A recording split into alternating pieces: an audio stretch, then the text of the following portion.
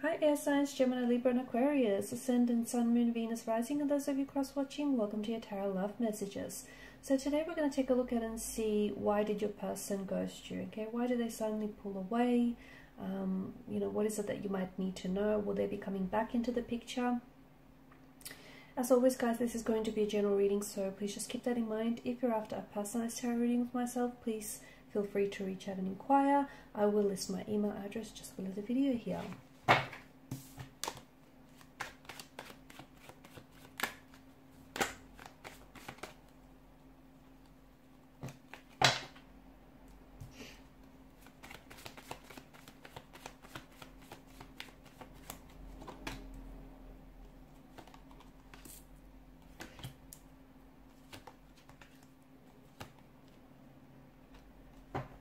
Okay, bottom of the deck you have the Eight of Pentacles. So if you are going through a no contact, no communication period, if your person did ghost you, I do see in the future that you're going to be working uh, working some things out. Okay, so you could be trying to work on uh, bettering yourselves for the sake of this relationship um, or even for the sake of, you know, um, your own energies here you could be potentially trying to work through and uh, work through and towards a resolution. So because this is like the fix it and repair it um, card out of the tarot deck, it also could imply that your person may be wanting to fix this. So if, you know if they've done if they've gone ghost on you, if they've gone Casper on you, if they've pulled a ghosting episode, they it's very likely that in the future you might hear from them again and they'll want to try and fix things and make things right. I can see that their lack of communication or the fact that they've suddenly pulled away is causing you a lot of anxiety here. Okay, it's definitely bothering you.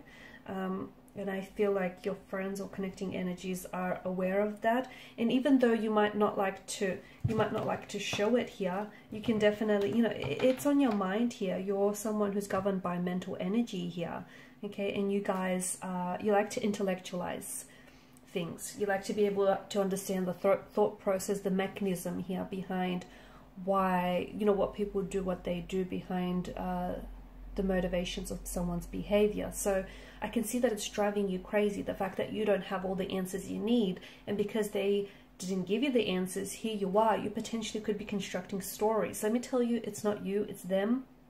Again, it's not you, it's them. The fact that this person is ghosted has very little to do with you and everything to do with with them. Now, this is someone who I feel like is with their current state of uh, emotions and their current energy state, I feel like your person is very undecided, okay? They're coming across as a very indecisive kind of energy, a lot of confusion in their energy as well. They are not sure, okay? There is a very strong romantic energy that's present in this connection. So they could love you, they could see themselves falling in love with you, but it feels like they are not 100% sure on you. It also feels like they want to love you, but they're scared to let themselves love you. Okay, they, it feels like they want to fall in love with you, so they might be on the way to falling in love with you, but they're not able to fully open themselves up to you here because they you know they're scared to open themselves up to you. They're scared to fall in love with you.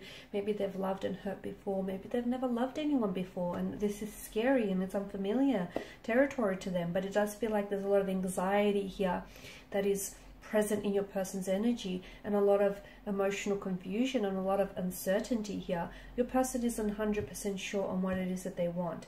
It's not that they're 100% unsure about you or the situation specifically, it just feels like they're a little aimless. Their energy is a little scattered here. So they do, look, a part of them does want you, but I feel like there's another part that it's like they're at war with their head and their heart. Okay, and their heart wants you, but their head is saying, think about it, think about things logically here. And this is where I feel like there's a war waging on because there's such a polarity to the to the moon's card um, a very strong dual en energy. And this is why you feel, this is what, you probably can pick up on mixed messages from your person, right? Some days they're very forward, they're very full on, they come across as, you know, very, um, they're always communicating, you know, they're always there. And then the next, the next time here they pull away or they suddenly go very cold or just distant and you wonder whether it's something you've said or you've done to make them feel this way. It's it's not you. It, it's just that there's a lot of duality in their energy. There could also be someone who is um, a dual sign here. So like a, a fellow like a Gemini here or a Pisces here. So there, there could be some du dualism here within their nature. There is a very strong presence of attraction, you know, love even, lust. They may love you. They could see themselves falling in love with you, but there is a fear that stops them. It, it, keeps them immobilized your person here, I feel like your person is struggling to communicate, especially when it comes to their emotions, because I feel like they feel emotions so deeply that they struggle to understand what those emotions are. They internalize their emotions, so they have a lot of, well, I wouldn't say a lot, but they do have concerns, their doubts, their reservations about the connection or the future of this connection. But I don't see them voicing, I don't see them voicing these doubts, reservations, or concerns to you. They may sometimes just casually say it in a sentence or just casually blurt it out to you, but I don't see them sitting down and saying, hey, this is what, you know, we need to work on, or hey, you know, this is what's bothering me. Because I feel like your person is, doesn't know how to process their emotions and they're keeping it bottled up inside. And this is why they tend to go ghost on you. This is why they, you know, you go days without hearing from your individual because there's so much going on with their emotions that they don't know what they're feeling. They're not able to identify with those emotions and they pull away. Okay, they draw within themselves to figure things out here. I do see this person coming back. Okay, I do feel like this person is going to lean back towards you and lean back into this relationship. But I just feel like right now they need to sort out some of, some of their emotions. Once they sort out some of the emotions, I see them then having a little bit more clarity, a little bit more energy here to come forward. They are stubborn, so I don't know if you keep communicating with them. I don't know that that's going to do much. I think if anything, it's probably going to want to make them stay silent or ignore you. It just feels like they're very stubborn energy. They could also be purposely trying to keep quiet here because I'm getting retaliation here, maybe for something that you've said um, or maybe they know that their silence drives you mad, drives you crazy. Therefore, they want to, you know, achieve a certain outcome here. They want to get you upset. They want to get you emotionally um, upset, concerned, or thinking about them here. They're stubborn as they're very, they're very stubborn. They're just extremely stubborn here. Um, and I feel like you can't talk sense into them, not when they're in this really stubborn kind of energy. So I think you have to sort of let it let them sort of ride it out here. They'll, they'll come back in and they'll communicate with you. Um, but I do feel like there's, it's, this behavior feels like it's cyclical, right? It feels like when you guys, when it's good, it's great. But when you guys, you know, when it's not so good, it, it's, it's not so good at all. It just feels like there's this cyclical kind of pattern or nature to this connection, okay? And it just feels like when emotions really overcome or overwhelm them, instead of communicating or dealing with it, they kind of pull away and withdraw into themselves. And they're also stubborn to confront those emotions or deal with them, which is why I feel like they may um, go, you know, ghost mode on you or just disappear here.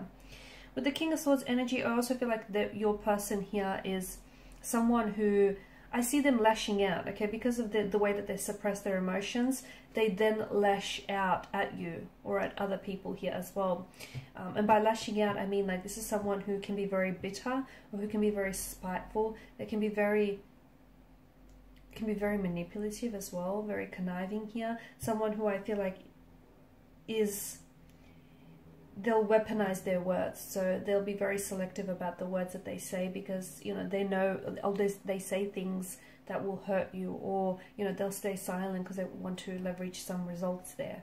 It feels like their silence can at times and is at times is strategic here so your person needs to work on some things because uh, I don't know how much longer you're going to tolerate this because I feel like you've been here before. It's not the first time. Or if you haven't, I feel like you'll, you'll, you'll arrive at this particular point with your person before. So there's some sort of behavioral or emotional patterns your person needs to take a closer look.